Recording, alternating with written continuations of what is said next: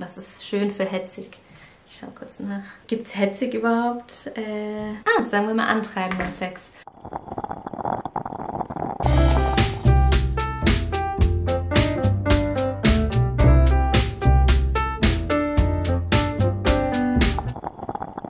Hallo, mein Name ist Lara und ich bin Sexologin. Ich erzähle dir heute, wie du deine Sexualität mit deinem Partner oder einem anderen gegenüber mit einfachen, ich sage einfach in dem Sinne, weil die Dinge sind nicht immer einfach, aber es sind Dinge, die man schnell anwenden kann, also mit einfachen Dingen deine Sexualität verbessern kannst. Wenn nicht sofort verbessern, dann zumindest erstmal verändern und, und Veränderung hat auch immer das Potenzial zu einer Verbesserung. Von daher geht's los. Nummer 1. Setz dich hin, nimm dir was zu schreiben und schreib dir auf, erstens, was dir gefällt an deiner aktuellen Sexualität, die du erlebst. Wenn du also in einer Beziehung bist, dann schreib dir auf, was du mit diesem Partner erlebst, was dir momentan oder auch in der Vergangenheit, kannst du auch nochmal unterscheiden, gefällt und gefallen hat. Und dann kannst du eine zweite Liste anfangen, wo du aufschreibst, was dir weniger gefällt oder was du dir anders wünschen würdest. Bei dem, was dir gefällt, sei sehr detailliert und schreib wirklich alles auf, was dir einfällt. Auch die kleinsten Dinge kannst du aufschreiben. Wenn du damit fertig bist, dann kannst du dir anschauen, einmal die positiven Sachen sozusagen und schau mal bei den positiven Sachen, was sind Dinge, die du vielleicht ganz aktuell gar nicht verwendest, die du vielleicht in der Vergangenheit benutzt hast, aber gar nicht so aktuell nutzt oder erlebst und schaue, ob du diese Dinge vielleicht wieder mehr integrieren kannst, bewusst. Es kann alles Mögliche sein. Vielleicht fällt dir ein, dass du vor zwei Jahren ganz gerne von mir aus Musik gerne hattest beim Sex und das dich irgendwie angeturnt hat. Und mit deinem neuen Partner nutzt du nie Musik, dann wäre es ja eine Idee, das doch mal zu integrieren oder auszuprobieren. War jetzt vielleicht ein komisches Beispiel, aber es kann alles Mögliche sein. Bei den Dingen, die auf der negativeren Liste sind oder auf den Dingen, die dir nicht so gut gefallen, welche davon kannst du vielleicht mit einfachen Mitteln schon verändern, ohne dass du darüber nachgedacht hast? Nummer zwei. Nummer zwei hat ein bisschen auch mit Nummer eins zu tun und kann auch ja, so als zweite Aufgabe dazukommen. Also es macht Sinn, wenn du erst das erste machst und dann das zweite. Das zweite ist, ähm, so ein bisschen zu überlegen, was spricht dich sexuell an, was bereitet dir Lust, was turnt dich an, was erregt dich. Da kannst du auch gerne ein bisschen so aufteilen in visuelle Dinge, in Gedankenspiele oder Fantasien, in taktile, haptische Dinge, also von mir aus auch körperliche Dinge, die man dir tut oder die du dir selber machst, ähm, was dir da gefällt. Auch Sachen von deinem Hören, also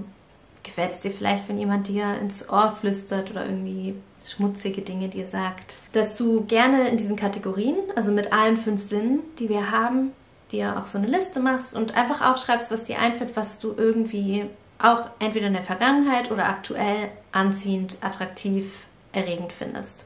Das alles aufzuschreiben und das kann schon echt schwierig sein. Und vielleicht fällt dir dann dabei auf, oh, spannend, visuell fallen mir ganz viele Dinge ein, aber taktil gar nicht oder andersherum. Und dann wäre natürlich, wenn du jetzt siehst, in einem Bereich findest du gar nichts bisher so bewusst erregend, vielleicht, dass du da auch nochmal bei der nächsten sexuellen Interaktion vermehrt darauf achtest, ob dir da irgendwas auffällt, dass du doch irgendwie auf einen bestimmten Geruch stehst oder ja. Also es, es eröffnet dir quasi, wenn du dir das aufschreibst, dann eröffnet es dir neue Blickwinkel erstmal und einen neuen Blick für Dinge, die du bisher vielleicht gar nicht so bewusst wahrgenommen hast.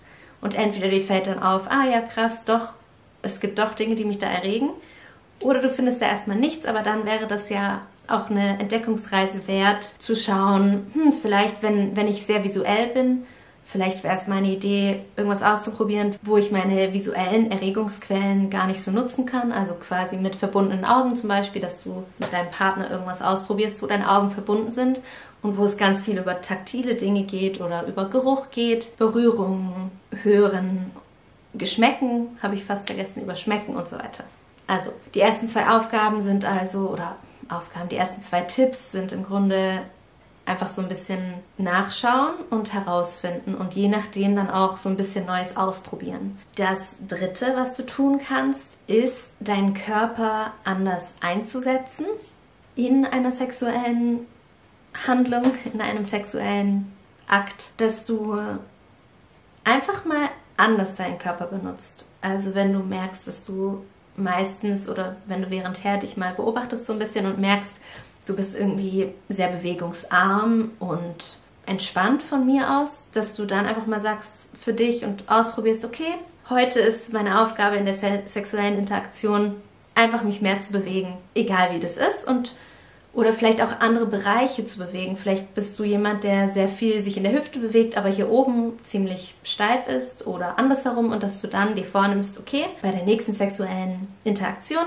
ist einfach nur mal so minimal die Aufgabe, während ich das genießen kann, einfach mich anders zu bewegen oder mehr zu bewegen. Mit ähm, den Körper zu verändern oder den Körper anders zu verwenden in der Sexualität kann auch gemeint sein, wenn du eher aktiv bist körperlich, dass du dann mal versuchst, passiver zu sein. Das kannst du ja auch vorher deinem Gegenüber mitteilen. Ihr könnt es ja auch beide ausprobieren. Oder wenn du penetrativ bist, dass du vielleicht eher mal intrusiv bist, also anstatt die Person zu sein, die eher zustößt oder eher eben einführt, dass du die Person mal bist, die auch aufnimmt. Das kann ja auch in jeglicher Form sein. Es muss ja nicht sein, dass bei dem klassischen Beispiel der Mann penetriert mit seinem Penis die Vagina der Frau, dann muss es nicht zwingend sein, wenn der Mann es nicht möchte, dass jetzt die Frau in diesem Beispiel den Mann mit dem Finger in seinem Analloch penetriert, sondern es kann ja auch sein, dass es eine andere Art von Penetration ist, dass gar nichts eingeführt wird, aber die Frau den Mann anders irgendwie greift oder penetrierender einfach agiert oder mit der oder vielleicht im Mund vielleicht irgendwie oder den Mann anders berührt. Also kann, das kann ganz spontan passieren und ganz unterschiedlich aussehen. Also körperliche Veränderungen und dazu ist auch wichtig, dazu gehört auch die Atmung. Also das ist, zähle ich jetzt noch zum dritten Punkt mit rein, aber eigentlich könnte es auch ein eigener Punkt sein, die Atmung zu verändern, mit der Atmung zu variieren. Fällt mir auf, dass ich immer ganz, ganz kurzatmig bin oder bin ich jemand, der immer sehr entspannt atmet. Damit einfach auszuprobieren, was verändert meine Atmung in meinem ganzen Körper, in meinem Genital, überall. Nummer vier geht um das Thema Rhythmus und auch Tempo. Das ist vielleicht ähnlich. Also wenn du mit deinem Gegenüber eher so drauf seid, dass ihr sehr, sehr genüsslichen, langsamen Sex habt für, gewohn, für gewöhnlich und dann wäre es eine Idee halt eher Richtung Quickie oder mehr hetzigen. Das hetzig hört sich nicht so schön an. Ich meine es aber sehr positiv. Ähm, was ist schön für hetzig? Ich schaue kurz nach. Gibt es hetzig überhaupt äh, Synonym? Also anscheinend gibt es nicht hetzig. Jagen, antreiben. Ah, sagen wir mal antreibenden Sex.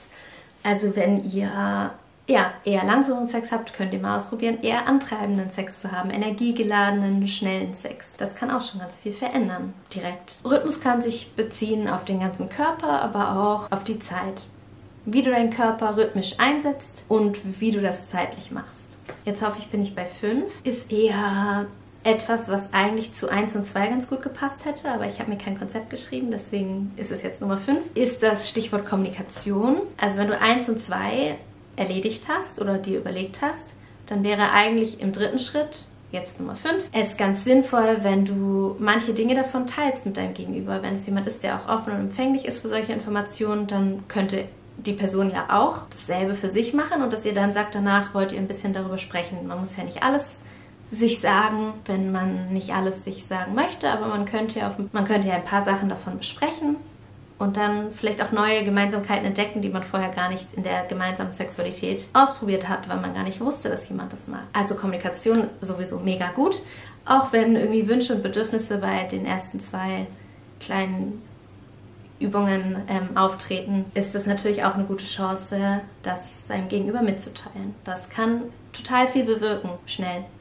Weil wenn jemand einfach eine Information hat, kann die Person schon ganz anders ähm, auf dich eingehen. Was mir noch allgemein dazu einfällt, es gibt eine richtig coole Webseite, ich glaube es heißt mojoupgrade.com. Da kannst du und da können du und dein Partner nacheinander unabhängig und an, also quasi ohne dass der andere das sieht, können unabhängig voneinander nacheinander Fragen beantworten zu euren sexuellen Bedürfnissen, Wünschen und dem und auch Grenzen oder dem, was ihr machen würdet und wollt oder was ihr nicht wollt. Und ihr müsst auch nicht alles beantworten. Also ihr könnt auch entscheiden, worüber ihr antworten wollt und wo nicht. Und dann zeigt sich am Ende eure gemeinsame Schnittmenge. Also am Ende seht ihr, wofür ihr beide offen seid. Und da kommen ganz oft überraschende Dinge raus, wenn man eben manches doch von seinem Partner vielleicht nicht weiß. Oder wenn man noch nicht so offen kommunizieren kann oder es noch nicht so gerne tut, dann ist es eine gute Möglichkeit, über diese Internetseite ein Gespräch zu beginnen. Das war's für heute. Ich hoffe, du kannst ein paar dieser Dinge oder vielleicht sogar alle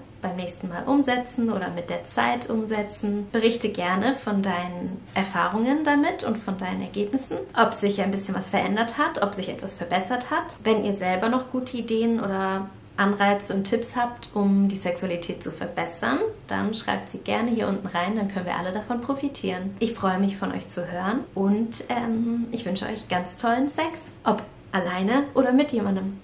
Tschüss und bis zum nächsten Mal.